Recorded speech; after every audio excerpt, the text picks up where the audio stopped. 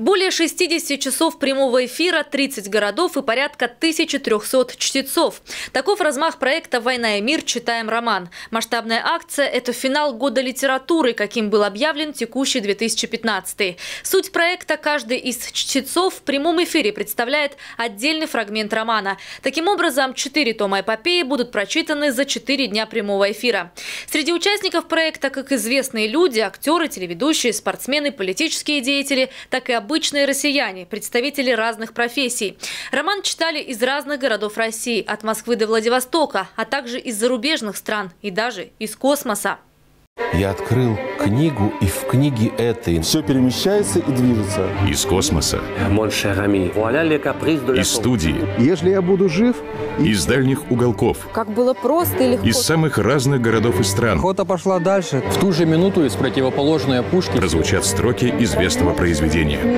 Его идеал величия и славы Деятелей культуры, Было ли это любопытство, преданность? искусства. Ах, как я тебе рад. Места для чтения были оборудованы на самых узнаваемых площадках. Сочи тоже принял участие в проекте. Съемки проходили в знаковых местах курорта. Морпорт, Олимпийский парк. В кадре можно было увидеть и Красную Поляну. Там роман читала известная сочинская телеведущая Алла Журавлева. Она представила отрывок из второго тома «Войны и мира».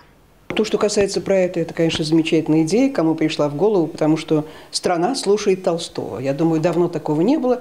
И хорошо, что читают все. И профессионалы, и просто население.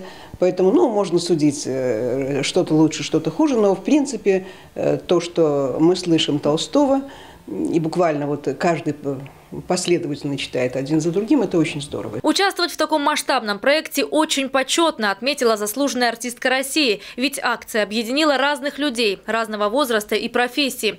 Кстати, это не первый подобный проект. Таким же образом разные люди из разных точек нашей страны уже читали Бунина и Чехова, доказывая, что любовь к литературе способна объединить весь мир. Ольга Десятого, Михаил Дубинин, телекомпания ФКТ.